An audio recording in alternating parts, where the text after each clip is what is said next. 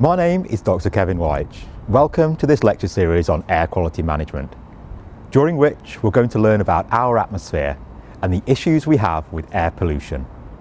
Let's start right at the beginning. What do we mean by the term atmosphere?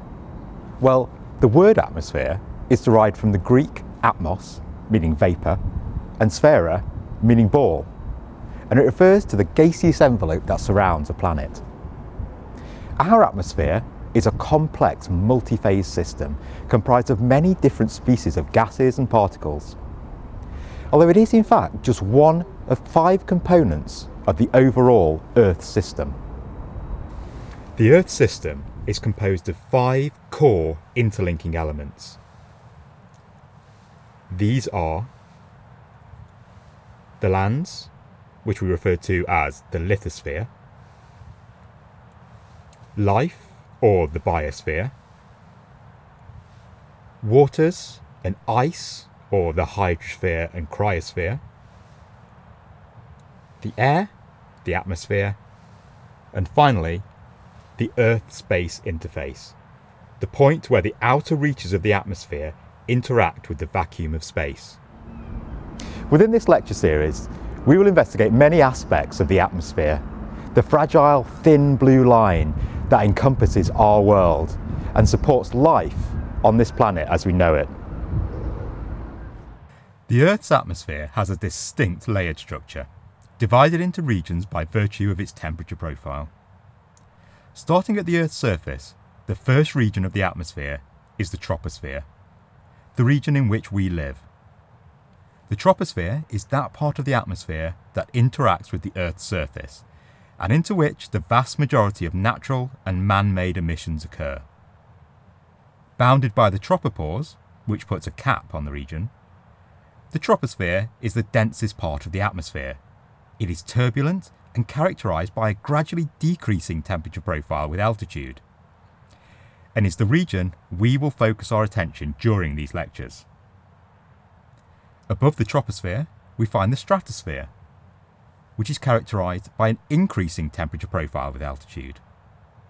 This increase in temperature comes as a result of the ozone layer, a thick band of ozone gas between roughly 15 and 30 kilometres up, which absorbs the sun's ultraviolet radiation, ultimately emitting heat and in turn protecting life at the surface. Above the stratosphere, we find the upper atmosphere, the mesosphere, thermosphere and exosphere, where dramatic phenomena such as the aurora and upper atmospheric lightning play out. Interestingly, 99% of the mass of the atmosphere exists below the middle of the stratosphere, with atmospheric pressure decreasing in a rapid, non-linear manner with altitude. Although compositionally very diverse, the atmosphere is primarily composed of the inert gas nitrogen and the more reactive gas oxygen. Together, these two gases make up approximately 99% of the atmosphere. So what about that remaining 1%? Now this is where things get interesting. This tiny remaining fraction of the atmosphere comprises the trace gases. And it is these species that drive the chemistry of our atmosphere. Constituents of this 1% include water vapour, carbon dioxide, methane, carbon monoxide, ozone, sulfur dioxide, and many more. As you can see, each of these gases make up only a tiny fraction of the air, with the notable exception of water vapour, the abundance of which can vary significantly depending on where in the atmosphere you are. In atmospheric science, we often refer to these quantities not as percentages, as you see here, but as a mixing ratio. That is, so many parts of one thing amongst so many parts of another. For instance, 0.00035% carbon dioxide is roughly 340 parts per million by volume, or ppmv for short. That is, there are 340 carbon dioxide molecules within a volume comprised of 1 million other molecules. Here, ppHV refers to parts per 100, ppBV to parts per billion, and ppTV to parts per trillion, a very small quantity. In the absence of anthropogenic emissions, the chemistry of the natural troposphere can be generally considered as a cyclic process, involving tiny quantities of reactive trace gases within that remaining 1%. This figure is a generalisation of the cyclic chemistry of the background troposphere, where the various letters and symbols represent various atoms and molecules, which we'll learn about later in the lecture series. The whole process is initiated and propagated by energy from the sun. Components come into the cycle, are processed, and products are released. When left unperturbed, this cycle perpetuates in such a manner. But what if we disturb this cycle? What if we were to release other gases, say from man-made processes into the air? In that case, we disrupt this balance and have the potential to produce gases and particles which are harmful to us and our environment. In combination, these initial emissions and secondary products effectively decrease the quality of our air.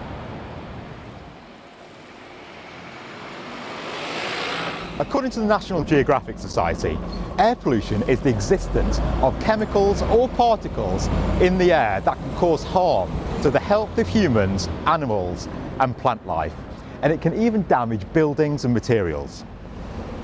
We can divide air pollution into two distinct categories. We have gases and solid or liquid particles. And within those classes, there are many different types of chemical species. For instance, gaseous pollutants include species such as carbon monoxide, sulfur dioxide, volatile organic compounds, oxides of nitrogen, and ozone.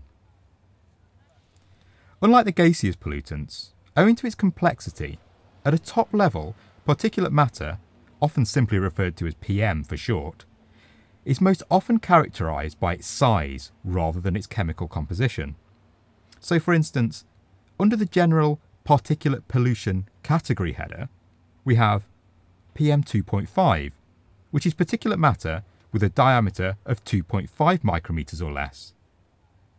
We have PM10, which is particulate matter with a diameter of 10 micrometers or less.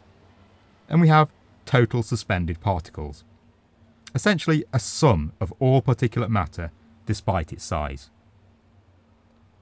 When we do categorise by composition, typical subcategories include organic particles and inorganic particles. Air pollution has a range of negative health effects on us and the environment. But perhaps the most publicised is its impact on human health. The World Health Organization estimates that air pollution is responsible for nearly half a million deaths in Europe annually. And it can shorten our life expectancy by almost a year.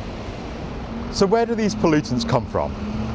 The most significant and well recognised source of air pollution is man and our industrial activities across the globe.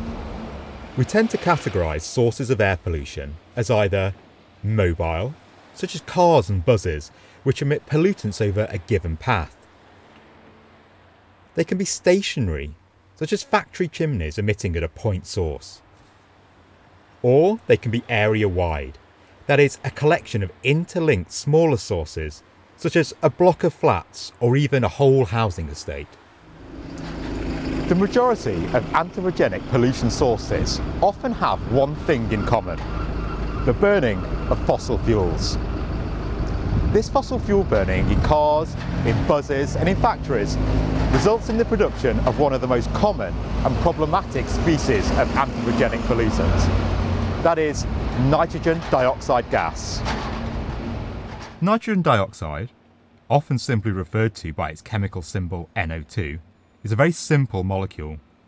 It is made up of one nitrogen atom and two oxygen atoms, covalently bonded together. nitrogen dioxide can impose a range of both direct and indirect health effects on human beings. And it also contributes to the acidification and eutrophication of our ecosystems. Interestingly, NO2 also plays a central role in perturbing the natural cycle of tropospheric chemistry. In fact, it can propagate the formation of other pollutants, such as ozone and particulate matter, which collectively are key components of our modern day summertime smogs. DEFRA states that NO2 is one of the best indicators of air quality. Where we find a lot of NO2, we find that air quality is poor. By looking at NO2 across the Earth using measurements recorded from space, we can see quite clearly the impact of man and the huge problem we face with poor air quality. Our cities across the world stand out as striking scars in the atmosphere, with some areas far worse than others.